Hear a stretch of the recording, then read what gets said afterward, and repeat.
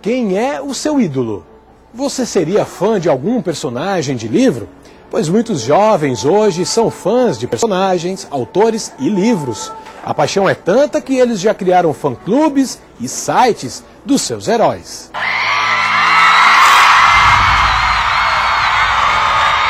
Somos acostumados a ver esse tipo de fã, o dos ídolos da música pop. Mas além desses, existem outros mais comportados e de bom papo. São os fãs dos personagens de livros. Os mais numerosos hoje são os fãs de Harry Potter. Hoje eu sou fã de ter um site de Harry Potter e eu estou juntando dinheiro para o parque. O parque temático está sendo construído em Orlando. Então eu acho que eu sou fã ao nível de gastar muito dinheiro com isso.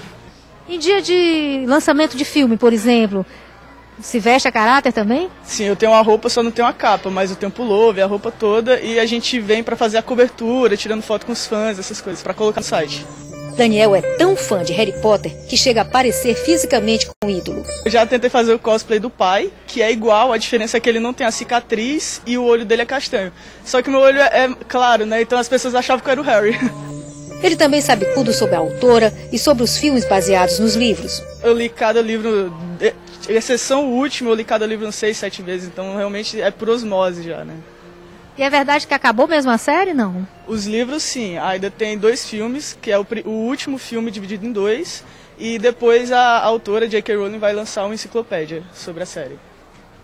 Você já está de olho aí para conseguir. Tô, tô, tá todo mundo já especulando sobre o que, que vai ter lá, vai ter sobre a, a vida dos personagens, todos os detalhes que ela não incluiu nos livros vai estar tá lá. Então todo mundo. Só que assim, ela não disse quando vai ser publicado, porque ela não quer pressão, né? Então a gente sabe que pode demorar até uma década para ela é, publicar esse livro. O seu site é para os fãs.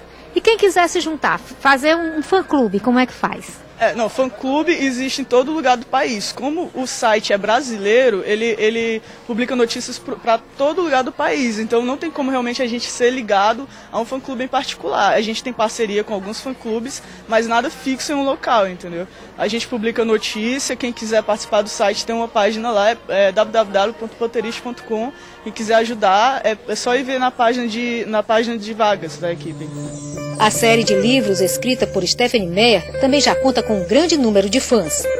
Para atender os fãs ávidos por novidades sobre seus ídolos, surgem sempre derivados dos livros originais, como esta coleção aqui, que traz os quatro volumes da série de Stephanie Meyer. E este outro é almanac, que traz informações diferentes sobre a obra O Crepúsculo.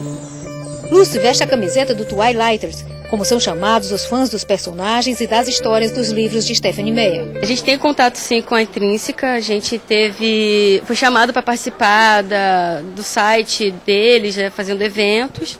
A gente entrou em contato com a Stephanie para botar o nosso site lá no site oficial dela. Nós não temos tanto contato com ela, porque ela não, não responde com tanta facilidade, né? Ela não tem, a gente não tem tanto contato. É misteriosa. Também, um pouco. A gente procura muito em sites americanos, né, as notícias. Porque você acha que o, o filme traduziu bem o livro? Na verdade, eu não acho não. Eu, eu acho que quem lê o livro absorve melhor pequenos detalhes que para mim, como leitora, faz total diferença, sabe? Muita coisa. No primeiro filme foi modificado, que eu não gostei. No, o segundo, agora, que é o Lua Nova, né, que já está estourando eu acho que eles tentaram criar bem próximo, mas para mim o livro é sempre o melhor. Não se trata só de vampirismo. A autora dá uma roupagem diferente a esse gênero literário.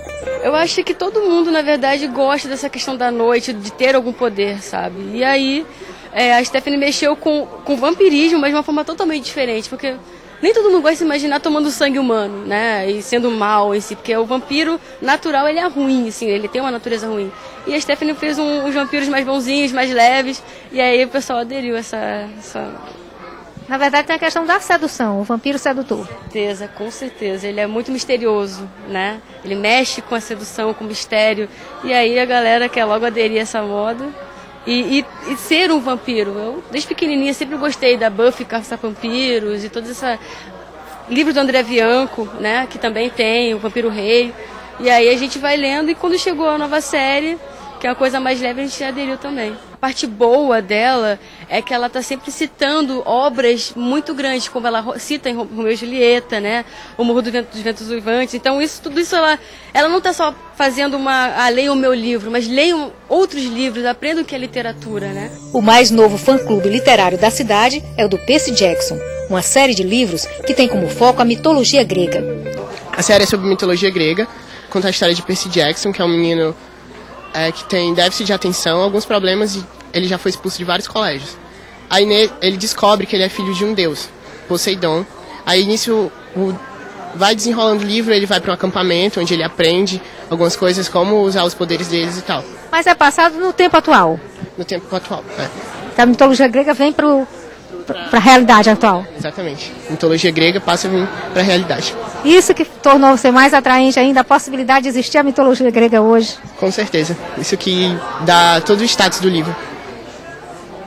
A Jéssica também é fã, né? Também faz parte do fã-clube. A gente tem um perfil no Orkut, que é o perfil do UFC, PS Jackson de Fortaleza. E é isso, a pessoa adiciona lá, a gente tem uma comunidade que fica informando aos fãs é, simultaneamente o que é está acontecendo, as gravações dos filmes, quando é que vai ser lançamentos. E a gente faz muitos eventos, principalmente na, em livrarias, a gente faz muitos eventos. E o que é que te atraiu para esse tipo de leitura? Eu acho que é o fato da própria mitologia grega, porque você lê muitos livros e você imagina coisas fora do real. Então, quando você pega uma coisa que pode estar acontecido, que vem para os dias atuais, entendeu? Eu acho que você se interage mais com a história. Então, acho que é bem interessante esse fato. Na verdade, as características diferentes, pessoas únicas, né, que têm alguns poderes, isso sempre atrai mais. Isso, é exatamente isso, porque eles descobrem que são filhos de deuses, são semideuses. Por isso que é que na camisa dele tem meio sangue, porque eles chamam meio sangue. Diferente do que se possa pensar, a leitura dessas obras não prejudica no estudo. Ao contrário, ajuda na escola. A gente passa a se interessar mais por história, porque mitologia grega, tipo, não era um assunto muito abordado na literatura antes. Aí depois desse livro, pronto. São livros assim volumosos, né? Vocês, é quanto tempo vocês levam para ler um livro desse?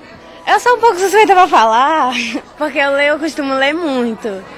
Então eu leio realmente rápido, eu leio bem rápido. Normalmente quem é fã lê mais de uma vez. Lê uma, duas, três vezes. E não enjoa da história. Você quer, cada vez mais você quer saber mais sobre os livros que você está lendo.